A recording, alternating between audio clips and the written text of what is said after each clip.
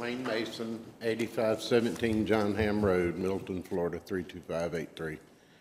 Um, I'm here today to ask for your help once again. I've talked to Mr. Furman numerous times, uh, and I've got pictures on my phone, but because of this recent flooding, uh, our homes are probably right now uh, flooding as I speak. And we can do better than this. I mean, uh, once again, I'll say this, if the state of Louisiana can keep the entire Mississippi River out of New Orleans, we can fix some of these issues. You know, and I, I, I- I don't mean to be disrespectful when I say this, but you are my employees. I'm a, a, a honorably discharged veteran. Uh, I'm a disabled veteran, an executive board member and trustee for the largest labor organization in Santa Rosa County, a helicopter mechanic that for our, the, the defense industry here at Whiting Field.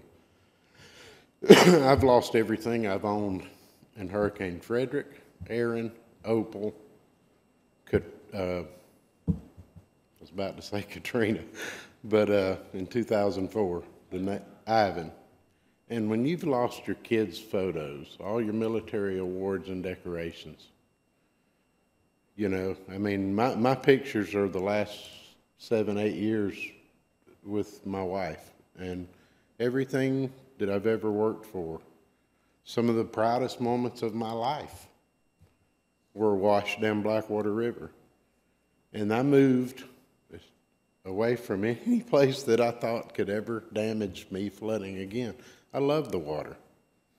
Um, and, and in 2014, my house flooded. And here it is again today. Um, the conveyance of Tracy Drive and John Ham Road, one of my best friends that I went to school with is, is trying to get everything she has in her house tied up to walls and up on top of things because water is literally probably coming into her house as we speak. Um, I spent hundred and sixty thousand dollars on my home, beautiful furnishings. Um, and we, we need help with this. I mean, we really do. Um, I know the, the state has came in and, and did some things there. Um, and I don't know what we have to, have to do to correct this, but, but we need help. And, uh, you know, I'd ask for your assistance, and if there's anything I can do to help you. I mean, I'm a very smart person. My mother's Janice Mason, Mr. Andrews, you remember her? Uh, she gave a lot of her life to the county employment, you know, as Judge Melvin's secretary and a county uh, court reporter. Um, and there's a, there's a lot more people that maybe aren't here because they're dealing with this themselves, but this is definitely something we need help with. I don't know if we have to pump it across 87 or come up with the money to, to put a culvert in. Something, either that or buy me, buy my house and let me get out of there, but, you know, uh, You, you're talking about the corner of Tracy and John Ham? yes, sir. Yeah. I, um, I'm sure you know my dad, Yes, uh, Alton. I will say I'm, even though he can be ornery and tenacious, I'm really proud of the fact that, uh, you know, he worked the channels and had DOT come out there and, and do some stuff to the pond. I have sort of recused myself from this issue altogether, and even on those, I, I'm sure he would tell you if you asked him, as well as Mr. Furman, I've uh, specifically chose not to take part since, you know, he's uh, really tried to be sort of a champion on that issue. He even called me this morning, said he was going to come speak today, but I think uh, just sort of out of respect and not trying to uh, make it look like there was any influence, he decided not to come. Uh, He had made me aware, like you said, of, of the, uh, the lady there that, um, you know, having, having water come back in her house again and, and then the thing. Uh, But I will ask, since you brought it forward, and, and um, I hope you would respect the fact that I've just told him to, to work with Commissioner Cole on this, uh, due to the fact that, like I said, the last thing is I want someone saying that, you know, I'm, I'm doing extra for somebody because my dad's involved, even though his house doesn't flood, but y'all are neighbors. I grew up right there on Tracy and John Ham for many years, and I understand it's close-knit out there.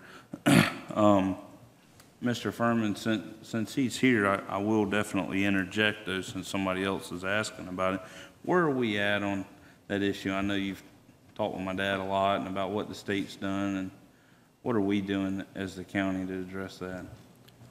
Well, what we've done is um, initiated a program to try to clean the sediment out of the bottom of the county pit that's there off of 87. We're adjacent to the DOT stormwater retention pond. That pit originally was not a, designed as a stormwater retention pond. It was a borrow pit, but we certainly use it as a stormwater retention pond. The water from Tracy Drive, Kim Drive, and the um, other roads that overflow through that area are migrating to the west toward Highway 87. There's a, a large wet weather um, pond, uh, wetland area uh, in that northwest corner of John Ham and Tracy, and that's where the water is directed to. It then flows into the county pit. And at the present time, and I was out there yesterday on a couple of occasions, our pit is virtually full, probably full by now because there was still water flowing from the wetland into it. And when that all fills up, we don't, as a county, have a place to send the water. The uh, power line does run through there, so we have to be very careful not to uh, jeopardize anything under the power line easement by expanding our pit. But it is our intention to, and has been for a number of months now, since it's, uh, uh, since DOT has done some repair work on their pond, to get our pond pumped down and clean the sediment off the bottom to restore the percolation in that pond. Um, But just, we've been overcome by rain for the last number of months, and so we haven't been able to pump the pond down. We looked at pumping it down more than a week ago uh, after the, the recent rain, but the swamp was almost full, and so that would certainly have a negative impact on the residents down at the intersection of John Ham and Tracy if we're pumping out of our pit back into that swamp area.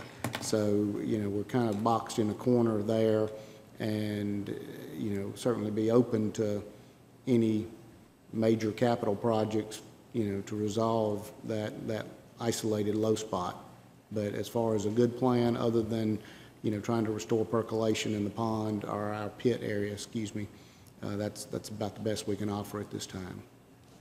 I, um, will talk with Mr. Furman and, and, uh, uh, he'd be glad to talk with you too. I, I know also the, the fellow just north of her, I was told had, had water in his shed as of yesterday, um, about maybe the feasibility or asking to look at maybe if we captured some of those wetlands. I know he's got about two acres of wetlands and maybe we could do some extension or whatever, but, um, I think Mr. Mr. Furman will look at it, and um, I know he'd be glad to, to get you his contact information. Um, I wish Commissioner Cole was here, but uh, I'll definitely rely on Tony just to pass along the message of the residents out there, and, and again, I hope you'll respect the fact that I'm um, trying to abide uh, as ethical as possible by, by sort of staying at arm's length from this issue.